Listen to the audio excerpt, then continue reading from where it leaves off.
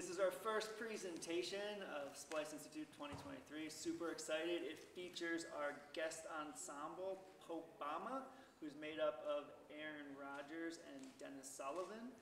They were amazing guests with Splice Institute a few years ago. when We were remote, and it's been awesome already. And I don't even know what day it is, but I don't think we've been here that long yet.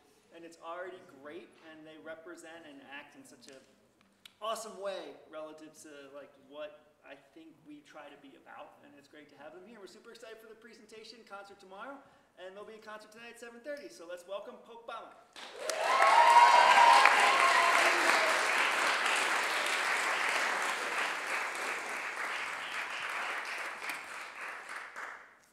Thanks, Chris. Awesome. Um, so today we're going to uh, present a little bit about uh, a concept that we've come up with that we call uh, performative electronics.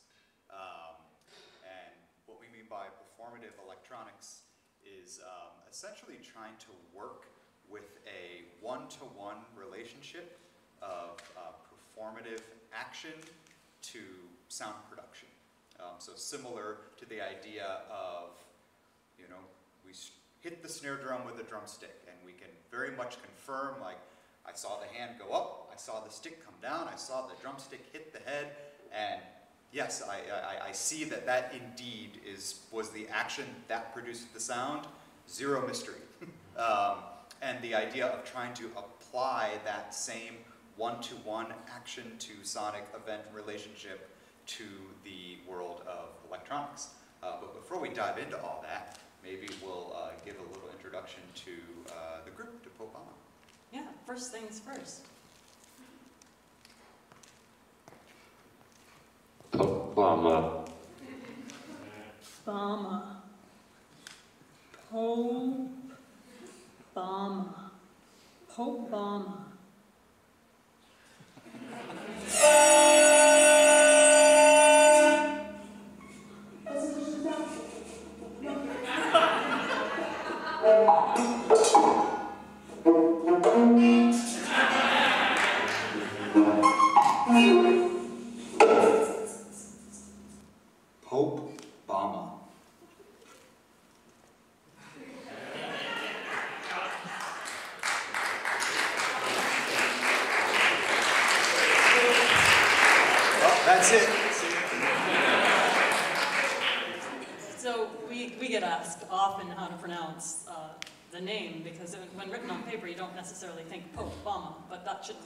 questions about that.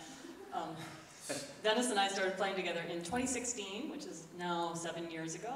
Um, we, uh, we met through friends. Dennis is a percussionist, I'm a saxophonist, and uh, we are both composers, and we both like to improvise. So when we got together, uh, it made sense to start trying things out musically, um, bring in our compositions. A lot of times we'll make compositions together, map them, um, workshop them, build on them. Um, but the idea of the duo was to try, um, to try new things. Um, Obama. Not again. not again. Bama. so, we're still working on our slideshow ability, but our performance ability is better than that. Um, so Pope, Popebama, um, we like to try uh, fresh new sounds. We've been um, sort of touring around, um, mostly playing pieces that we've written for each other, but then uh, in recent years have begun commissioning and doing new uh, pieces by other voices that we, you know, we find interesting and, and want to work with. So we've sort of expanded our, our voice through others uh, that we collaborate with. Yeah, and it's been particularly rewarding in the last, I think, uh, few years as we've started to bring in other voices and other composers kind of into the Bombverse. Let's call it Bombverse. Um, we- we've there's kind of this approach of like nothing is off the table, um, be it from a purportum standpoint, from a gear standpoint, from an electronic standpoint, from a theatrical standpoint. Um, we'll try any of it once um, and possibly keep doing it for the duration. Um, and what's been interesting with that is um, we feel like we've created a very distinct world and a very distinct voice with the duo. And then when we bring uh, uh, other folks into that, um, as opposed to uh, having a new percussion and saxophone piece, um, it kind of feels like that particular individual or composers or collaborators take on the like Popebama sound world, or maybe the Popebama lack of limitation, um, which has been yeah super rewarding. Uh, so as you'll see tomorrow, we- we'll have quite a few pieces um, outside of things that Erin and I have written specifically for the group.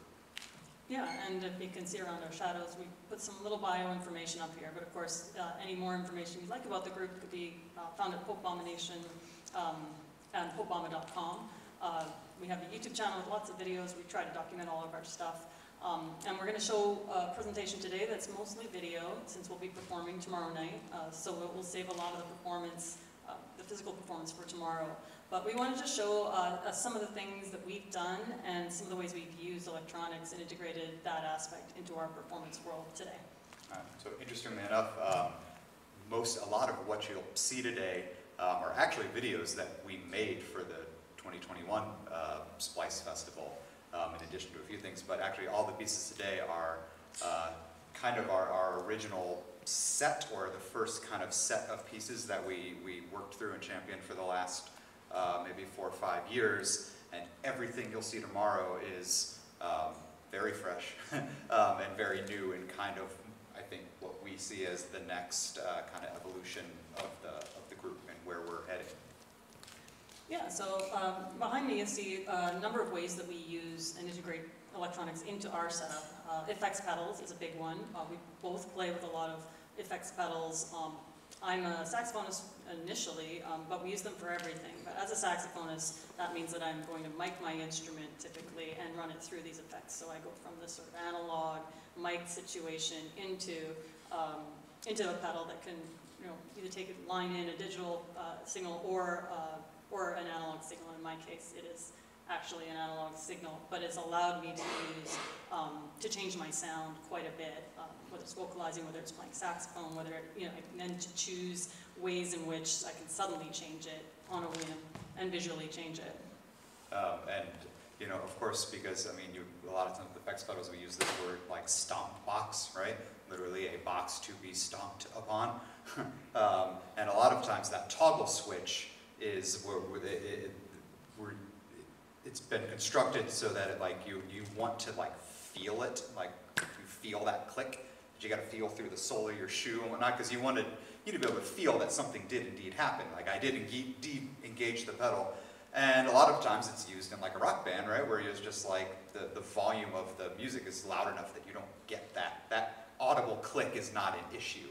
Um, in our case, um, it's always an issue, um, but we've kind of made this conscious choice to say, well, heck with it, we're going to kind of write it into the pieces. So a lot of times we actually kind of embrace that click or, you know, maybe blend the, the click of the pedal with some, you know, tongue slaps or, or wood blocks or things that are just like, it just, it, it has to be become, has to become part of the music as opposed to always trying to like walk on eggshells and very quietly, you know, engage with the pedal and the action. We just kind of embrace it and like leg and just, just go for it. Um, which is again this idea of performative electronics. It's also for us, we think it's nice to have a visual representation. Like yes, the sonic event is now changing now that we're engaging the pedal. Well, let's actually physically show that it's happening in addition to the actual change in the in the sonic environment. Yeah, the next thing we have on the list is stage mixers, and we use, um, we were talking about this in our, uh, our improv class today, but having the control on stage to do your own mix of, uh, both, uh, you know, acoustic instruments and electronic signals, uh, that are sound making on stage with a mixer allows us to control what we send to the house or send to the court. So, um, in a lot of cases, you'll see stage mixers in our setups and we'll actually physically play them. And in a lot of our scores, we notate in when we adjust these mixers. And that adds an element of not only control, but when we're moving the mixers, and we'll show you in real time, um, we actually change the sound, have these cues marked in, and allow the audience sort of a bird's eye view of some of these things so that they see why the volume is coming down, sort of taking the ghost out of the machine. So the idea is to view the mixer just as another instrument. So have, we have our mute buttons, which are our, our gate signals, you know, send on and off, um, and volume faders for dynamic curves, and, you know, like a three-stage EQ, high, mid, low, and we essentially have like a, a, a live filter, um, on stage. Um, it's also been really helpful, um, we, we've always tried to have this spirit of like, you know, everything can work in a very large venue and everything can work in a very small venue. So we can play this concert hall, but um, can also take it, take all of these pieces, put them in an art gallery, put them in somebody's basement or whatever. Um, that's where the, the stage mixer can be really helpful because maybe we play a show at a venue that doesn't have a ton of sound support, doesn't have an expert audio engineer, things like that. Um, we are self-sufficient. We don't have to say, okay, so we're gonna send you these 14 channels. um, instead, it's just like, here's, the, here's our stereo out, and we're good. Um, the flip side of that, of course, is if you have an expert audio engineer like here, you do kind of take a little bit of agency away from the sound engineer. So it is something to think about if you're thinking of kind of like giving yourself that kind of control on the stage. In this setting, the more control you're giving yourself, you are taking a little bit of control away from the engineer, which can be dicey, or, or it's sometimes to your detriment, because sometimes you want their expertise, right, to do that balancing and that sculpting, and not only have agency over like the master volume of the entire like manifold of sounds.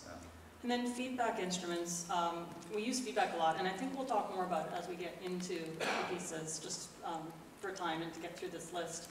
Um, Analog synthesizers, we use a lot of uh, um, analog synths on stage, and the mapping of that is also uh, a very big part of our performance. Usually always with some kind of like tactile controller, again, we're very much about the one-to-one actions, we like to be able to show the, the, the gating on and off of the sounds. Mhm. Samplers, where we're using a lot of what we call triggers. We um, have physical MIDI instruments in some cases that, uh, that start sound samples, like pre-recorded audio samples that, uh, that are then triggered, so that even though it's not a sound that we're making in real time, we're showing the triggering of the on and the off of those actions. And then, uh, of course, some transducers, a lot of times just to be able to um, sometimes sculpt a sound in a way that is um, allowing for the resonant body that the transducer is mounted on to kind of map its own sonic properties onto the sound that it's, that it's running through. Or sometimes a frequency that is so low that we're not actu- actually going to hear it, but maybe that sub-pitch is sitting on a little plate of metal that will kind of like dance around, and it's not actually about the sub-pitch, it's about getting the thing, exciting the, the transducer to get things to kind of shake and rattle. And then, yeah, and we'll talk a little bit more about what some of these things are in addition to, you know, just using the terms, so like the idea of what a transducer is. We'll go into it in more in context. But just uh, to move along, we have the why. Why, why perform with electronics? Well, Yeah. we're figuring this out. Um, So mapping, right? Um, Dennis just mentioned the idea of visually mapping the one-to-one relationship of something we do performatively on stage with a change or um, an an initiation or some sort of, uh, some sort of sound effect that occurs, right? So as an experiencer of this in any way, visually, um, audibly, you will have a way of mapping patterns of what we're doing with the sounds that you hear and the visual actions that you see. And being able to make the, the connection between those is a very human thing. It's a very, very basic thing we're, you know, from birth that we were born with. And it's, it's really important as, um, as we continue to engage audiences, especially with this music becomes more and more experimental, that we're able to sort of invite, um, invite audiences in to understand it a little bit more. And that's something we try to do and prioritize. Mhm. We try to think a lot about control, and maybe another word for that would be agency, and the ratio, especially if we're dealing with electronic devices, the ratio between uh, human or performer agency or mechanical device, computer, synth, whatever agency. What, what degree of control do we have over the sound, and is there any kind of degree of control that we're giving to the machine? And what is the balance of that? And of course, that would then affect mapping, that would affect choreography, kind of, these three are all kind of tied in together and, and moving, you know, the balancing of one moves the other in, in, in one direction or another. Mhm. And to add to choreography, um, the idea that the purpose for these movements, or the fact that sound is sort of um, is sort of shaping some of these movements and, and creating the answer to the why. Um, create, can sometimes create a built-in form or choreography to pieces that's very, uh, that's generative and can be very exciting to sort of formulate. And, and we'll show that with a piece uh, that, that is uh, one of our examples in this hour.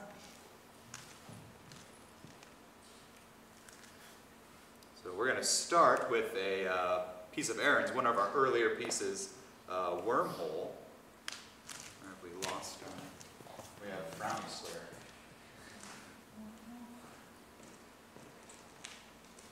I got kicked, I'm offline here.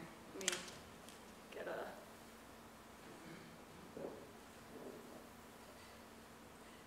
Brownie Square.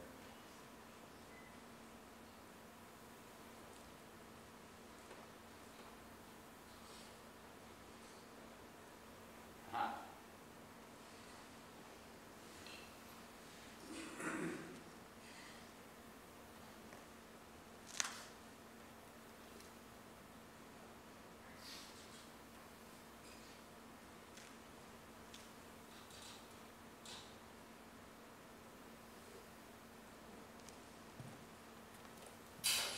Well, Erin's the one that has so much more to say about her work than I do, but I'm going to jump in just so we can keep moving. Um, one of the ideas behind her piece, Wormhole, was um, to work with uh, instruments that all created their sound via some sort of like forced air.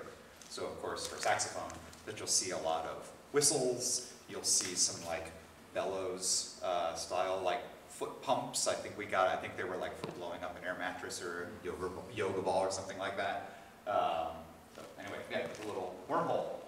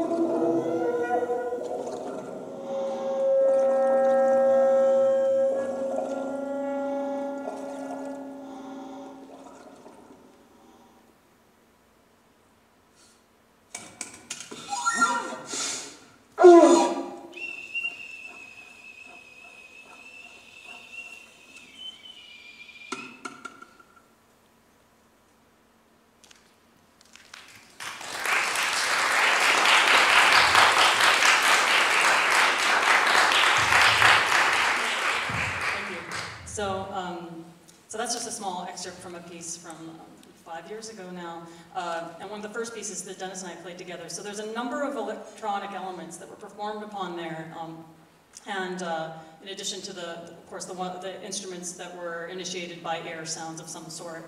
But we have foot pedals, right? So I'm dealing with the reverb pedal, um, which can create a very expanded, reverberant sort of sound, and it goes back and forth between a dry kind of uh, atmosphere and a, a very reverberant one. Uh, we have uh, a freeze pedal that is able to freeze some of these sounds and sort of sustain them over time, and that allows, um, in some cases, where the phrase ends and our limbs are all busy putting instruments away and doing this sort of economical setting down of things and getting new things, um, it allows us to sustain the sound, right? It, so it adds that, uh, it works as a tool in a lot of cases, um, the freeze pedal does. And then we have um, uh, the mixer, the stage mixer, which you could see was very clearly set between us. Um, You can sort of see it right there between both of us. That is doing all the routing for the amplification, the pedals, but also, but also, um, when we move the faders up and down, clearly brings some of the sound in and out. And so what that does is it creates not only diminuendo when you're taking those sounds out, but the visual aspect of this is how we're doing that, right? It's sort of, you know, you see a trombonist do it, you know exactly what's happening, right? They're, they're, they're decreasing their air, they're ending that note. In this case, you're seeing exactly what's happening. That's why that sound's going away. So it's creating an instrument out of an electronic device. And uh, we actually, we love this old Behringer, it's like 20 years old and just won't go away. Um, I don't know how it's still alive, but it is. Um, But one thing we love for this piece is actually to have the mixer face forward like that. And we really prefer like the, the, the fader as opposed to the dial, because for the audience, you can just map that action. It's such a like more clear gesture than, than this. Um, And it, it essentially, you know, the way we've routed it, it works almost like a volume pedal, which is we send, uh, you know, we have our mics, microphones going to the mixer and sending the pedal chain through the auxiliary, through the aux send, and then the effects get their own channel.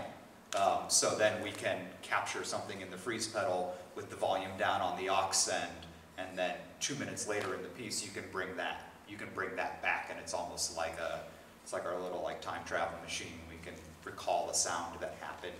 You know, we'll do the same thing with, you know, looping pedals as opposed to creating like a, a looping structure.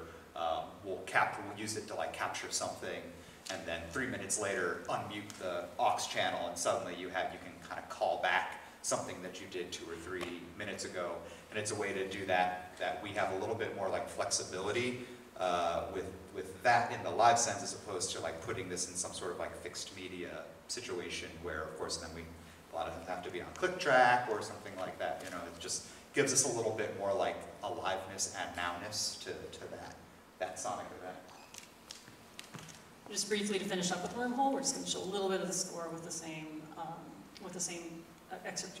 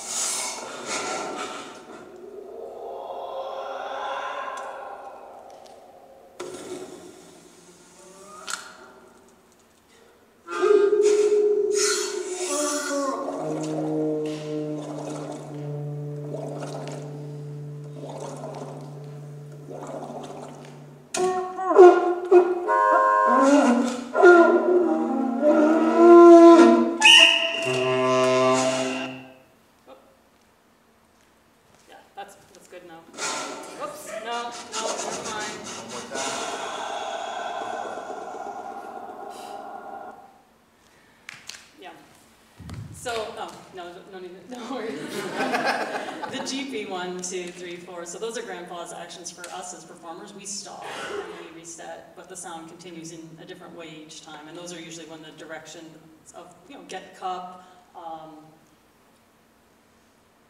full deflation of balloon, that, that balloon deflating is sort of carrying us through to the next phrase beginning. Um, also, you'll, you'll notice, uh, score-wise, we've got, um, player one and player two. We don't really think of it as sax percussion in this piece. It's more like we're both players. And then we have a foot pedal line where each of us are busy doing the foot pedal things underneath. In general, Erin did a really good job of scoring this like high to low in relation to the body. So like a lot of the, at least I can speak for my part, a lot of my whistles that are up here on, on the line are, are, up high on the staff and all the stuff with the foot pedals are down low and it, it just helps for, you know, when you're reading something that is, I mean, really, there's no standard here, so, right, the, the way to, the only, uh, ways to kind of make your own notational system. But to try and find something that like relates or visually, you know, like understands just like, well, I don't, you know, when you're in the learning process, I don't completely remember what that is up there yet, but I know it's up here somewhere because it's up there on the staff, and I know that this, you know, a lot of activity down there where my feet are doing something, so, you know, it's, it's helpful. One last thing I'll point to on this page, the freeze, the effects pedals are also notated in the foot pedal line, in addition to the air pedals, it's the, uh, so the freeze pedal in the bottom line you see. So right where that five-eight measure starts, that horizontal line holds that freeze over the grand pause, and that's notated. And the, the actual pedal hit is notated at an exact point in that measure, and it's taken off at an exact point in the next measure. And two of the, one of the things that does is it stops the effect right at a particular time, but it also hides the click or uses the click um, articulation and that sound um, to be a trigger for the next phrase. So incorporating that sound, which is a very large sound, if you hear guitar pedals click, it's a very apparent sound, and especially in a piece that has a lot of sort of effects and uh, gadgetry, um, those types of sounds. Okay, to ignore that from the world is sort of to take to to um, to, to not include it. I think is is could be problematic for the piece because it plays such a large role audibly.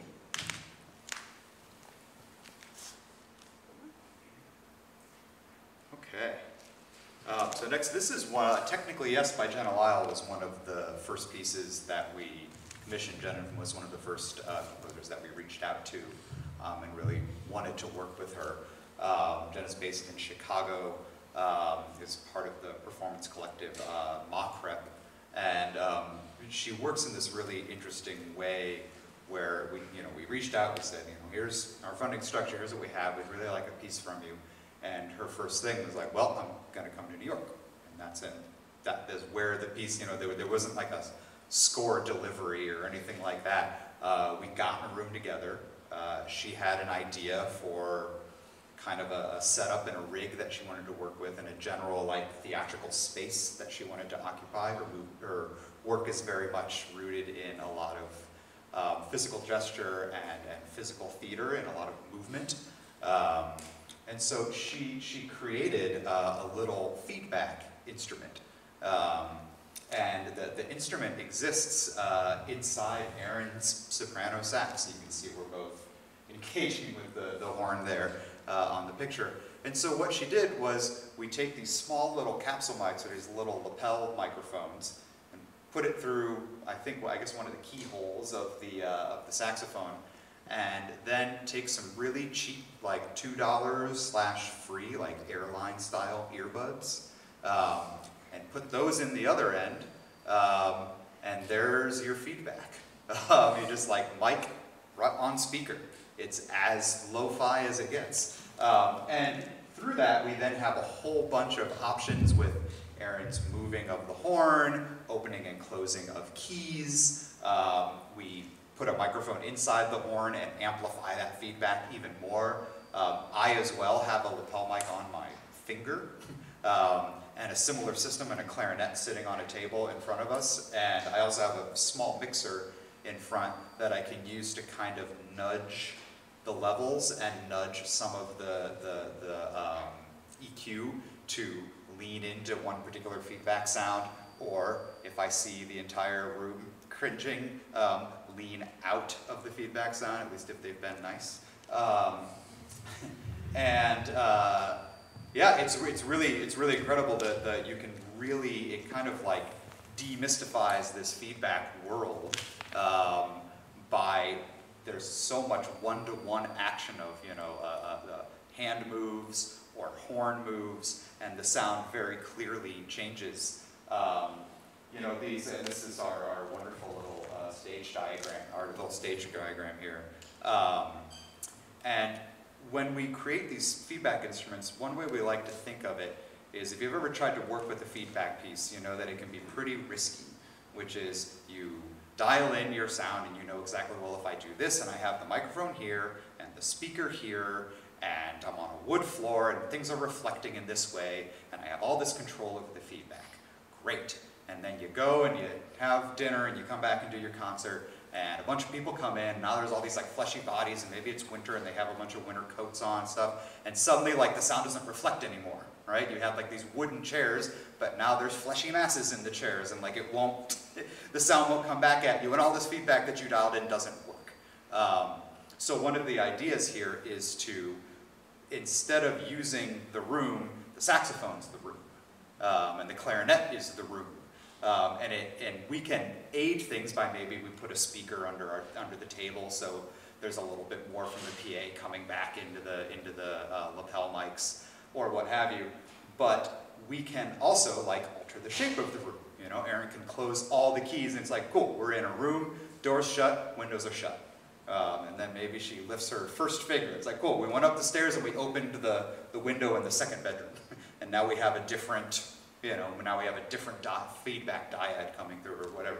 Um, so it's kind of a way to not depend so much on the physical space to create the feedback, but the instrument itself, which, um, you know, unless, I don't know, unless we run over it with a truck or something, the saxophone isn't going to change. The horn's going to be the same every time we, we take it out. So it, it, it, gives us a little bit more agency to know what we'll be working with each time. So to put, put all this in context, let's, uh, let's hear a little bit and see a little bit.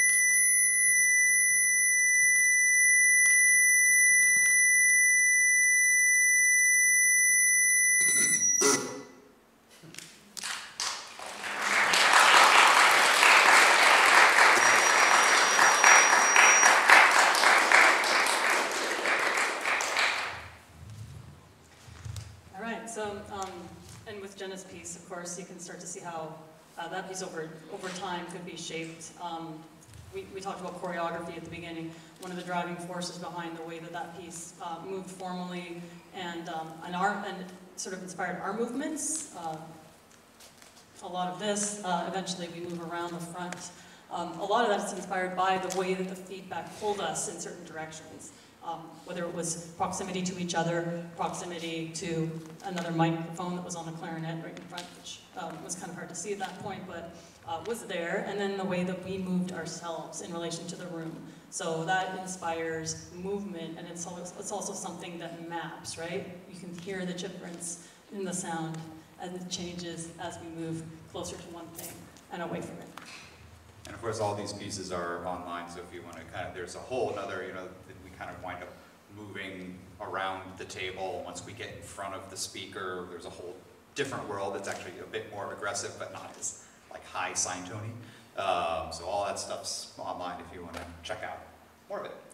So we're going to move on to um, Operating Manual, third edition by Alex Christie, a friend of Splice who uh, I think we first met at Splice years ago, maybe 2017, in this very building. So Alex is a, a composer at um, uh, University of Virginia and uh, has been there for a long time. He's now the, uh, I think, uh, technical, Technical director, yeah. in the um, computer, um, computer music department. So, um, but Alex works a lot with lights, and so when he wrote us this piece, uh, it was sort of a, a departure from our regular instruments and um, a way of using light as counterpoint, a way of using uh, triggers, uh, which in this piece, we didn't bring it today, but we actually play power strips, um, in, as opposed to, you know, keyboards or other instruments and other uh, sort of MIDI triggers. We're actually playing a power strip, which is powering lights on and off. And this was a really nice situation where we you know, were able to collaborate on a set of Alex built these circuits, and they have these little photocells that react to uh, varying degrees of light and saturation of light. Uh, so there's a white light bulb, there's a red light bulb, those get moved around, um, and then there's strobe lights. And you know, he, he asked for very specific speeds of the strobe lights, and then said, you know, what I really want here is I, I just want you to turn turn them on and off. Like, that's the piece. Um, like, well, how do we get a setup together? And I, we happen to have these power strips that we, we've been working with, that every um, plug on the strip has its own on-off toggle switch. Um, so the piece is really just us sitting in front of a power strip and and playing it, turning the lights on and off. Um, he wrote it on a timeline. Um, sorry that we don't have a slide, and I hope I'm going to just zoom in as best I can there. Um, and they're just in five second intervals. So we play the piece uh, at quarter and equals 60 in 5 4. Um, he didn't, uh, sometimes you can see there's these kind of like dotted hashed lines. He asked for a few complex unisons, so we actually prescribed some rhythms um, and, made up our own notes. So you can see where we have written in, hey, zoom. um, you can see where we actually started to write in some, some particular uh, rhythmic values. Um, and you know, it's what I wanted to sending a video one time we were practicing, because we can practice, technically practice the piece anywhere. We just need the power strip and a metronome. It doesn't have to be plugged into the lights. Um, and I sent him a video, and I remember him watching the video. He's like, I had no idea those rhythms were in there. That's crazy. that sounds awesome. Um, but the, but then the result, the result sound of the circuit is is all Alex. You know, it's all it's his his vision. Um, so kind of this really cool collaborative effort. Um, it's worth checking out a little bit. Yeah, it's worth noting too that the light bulbs, this, the light bulbs control the sound on off, and that's what is actually triggering the sound. And so when we played this piece, we had our iPads up, and that was actually drawing away from the uh, sound of the circuits because it was offering too much light. So we found an interesting little trick. Ah, If you click the super button, disorienting to read. if you click the button three times, uh, you can invert your score to black and white. And it's not that easy to get it if you're playing traditional music. But for this purpose, we actually got used to looking at the, the inverted score. So uh, just a warning, there's some flashing lights in this video, so um, be aware. And if you need to leave, uh, we understand. Um, Leave or close your eyes if you don't want the lights. It's totally, totally cool.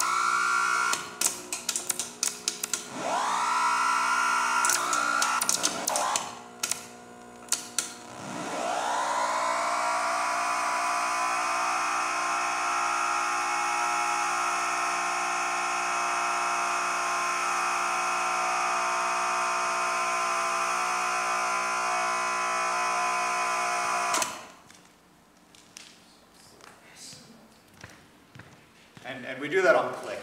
Um, was, that was an immediate, we recognized very quickly, and just like, oh, we're gonna, we need to make a click track. Because also, it's such a like, kind of like, it's not a very human feeling piece or action, so it actually made sense to kind of go in the like anti-chamber music direction. And like, let's, let's move as far away as we can, put it in the click, and really not engage with one another at all. Just head down, see you in twenty minutes, um, which, cool. yeah. So worth noting, uh, it doesn't get more performative electronic than performing on a power strip. Um, But one of the other interesting things about this piece is just the way that the light interacts with the sounds you hear. So you're hearing clicks, and there's certain mapping of light to those clicks.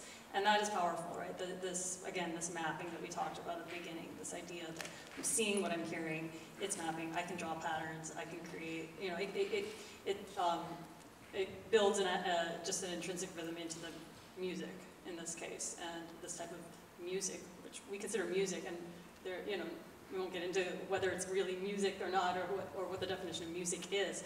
Um, it's compelling in, in that way, and that's one of the reasons, uh, we enjoy playing it. Um, before we, uh, I, I think we'll start this next one just by showing a clip of the piece first, and then sort of breaking it down. So this is Showdown. This is a piece that Dennis and I wrote collaboratively. We got together and uh, created uh, created the piece together in this way that was really just one item, one item, one item, discussing everything. So it is by Popebama in the realist sense.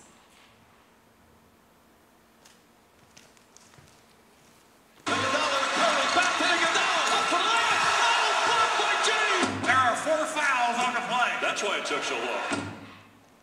There are four fouls. There are four fouls on the play. That's why.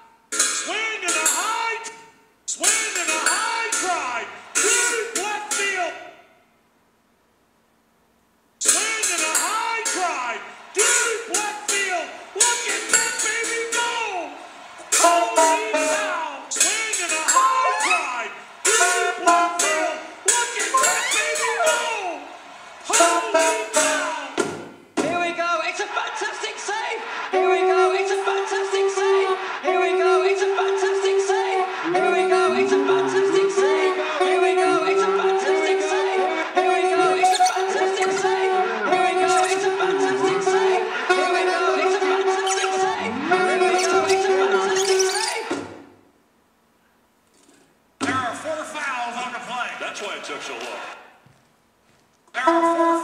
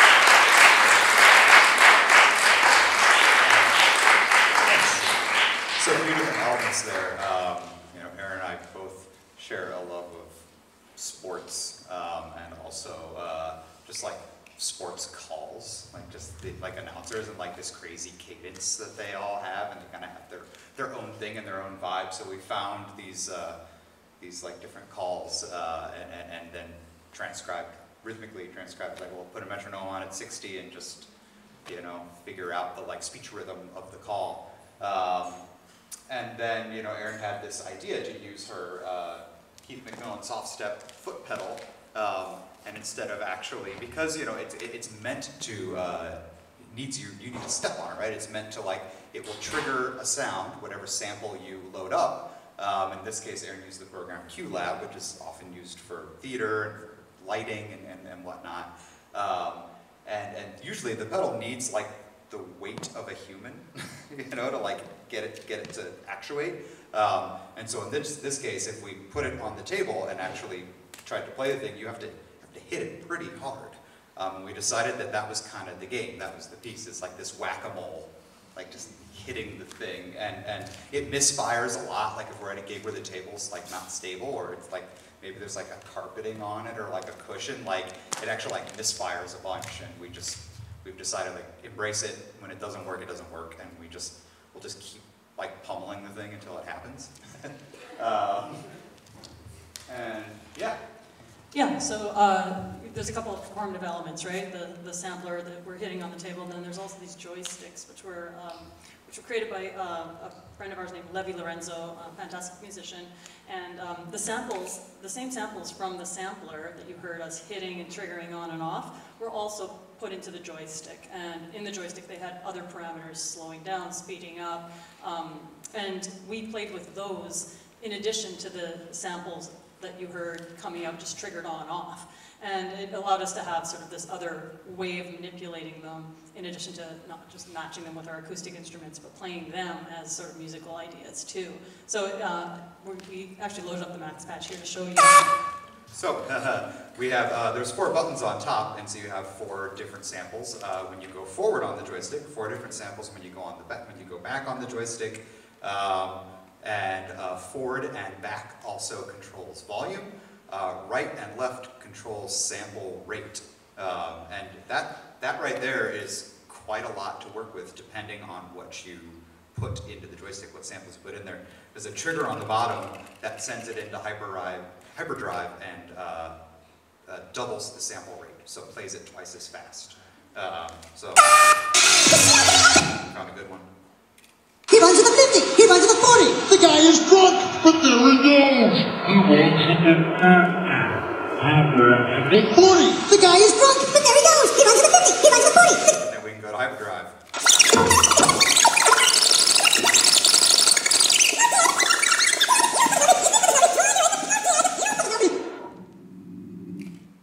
Um, Yeah, so, So, I mean, obviously you can imagine if you like took a bunch of like garbled granular stuff from your like Euro rack and put it in there, like holy moly, you got, you got a, you got a stew going.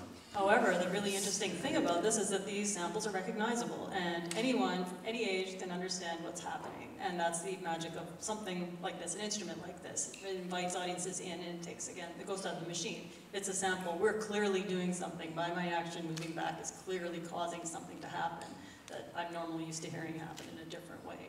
So the, uh, the idea of sort of using these and showing that every time we do something, something's happening, creates, again, this musical forward motion that, that allows us to shape the piece this way. We didn't show the whole thing, but there's a very climactic moment where we both go like very forward on the joysticks and have sort of a face-off, and it's the same moment that the hockey goal sound hits, and it's really, it's quite, it's quite cheesy, but it's also, it, we, we love it, we think it works, we think it's inviting, and we, um, and we also, uh, we have, it, it implies and builds this natural choreography into the piece. So while we're moving from instrument, while we're moving to these things and doing these actions, it's answering that question of why. I am doing this, not because it's fun to do this, but because it's actually causing an action. And all of the sort of um, the extra musical or theatrical elements um, that are going on are things that are also mappable. So this idea of Dennis and I having this competition or this war in a way that we're facing off in a sport-like way is happening because we're actually battling over who gets to play these samples. So we're trying to build in those elements as well and make it just sort of a multi-layered performance experience. Um, So we'll move on to one last piece and we'll do it very quickly. Um, and if you were in our uh, um, instrumental economy class, which essentially was getting a lot out of a little, drawing the most uh, sonic possibility out of singular objects, um, this is the opposite of that. um, and, it, and it was a very valuable lesson uh, for me, which is uh, a piece that I wrote and spent uh, an enormous amount of time on and building this huge setup. We've played it live maybe three times because it's just an incredible amount of gear and an incredible amount of forces to kind of dial in, and it's probably where the instrumental economy idea was born out of. Just like, well, this is fun. Boy, am I glad we got a good studio recording and a good video because we just can't do this to ourselves. Um, it's just too much. Um, so there's a lot of forces involved. There's some fixed media. There's uh, a bunch of guitar pedals, one that does kind of like quick seven second uh, captures and layering and sampling, um, granular synthesis. Um, there are feedback transducers. Uh, one transducer is on a uh, thunder sheet and kind of will feed back as you sweep a microphone closer to it. Um, there's a transducer attached to a balloon that is stretched over the bell of Erin's soprano saxophone, and she has a microphone up here so she can kind of feedback with that stuff. Um, those are being like overdriven by uh, distortion pedals that are also self-oscillating and feeding back. Um, we've blown up a bunch of transducers, so the piece is also too expensive uh, to keep doing. So we'll show a little bit of the Show a little setup. bit. There's the, under the hood, there's also the stage mixer there, feedback mixer, um, upside down snare drum, on blocking, thunder sheet, uh, bass drum, uh, that I connect you in. guitar pedals, volume pedal, octave shifter, dowel rods, big tam tam. There's a bass drum again. Um, and there's a little transducer mounted on the back of our, our thunder sheet. This was during the recording session. So the transducer is essentially like a, a- it's a, a small speaker that needs to be kind of mounted on something to make it sound. So it's sending a great deal of, of, of vibration. Um, but if it's not mounted on a resonant object, it'll be, it'll be quite soft. Um, so for example, if we took a transducer and put it on a bass drum, the sounds coming out of it would resonate in the bass drum, through the membrane of the bass drum head. Of course, also the resonant frequencies of the bass drum would also map onto those sounds. Uh, here's a little demonstration of the feedback transducer.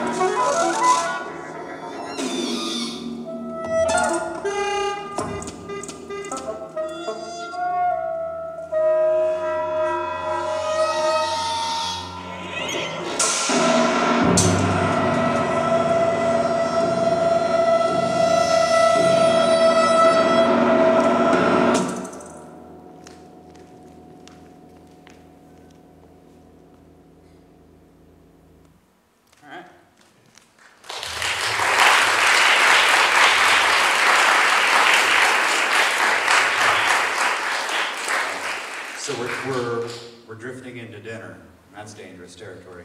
Um, so, uh, bu- but also, we're, we're more than happy to stick around and answer questions, but I also want to give people agency to, to go eat.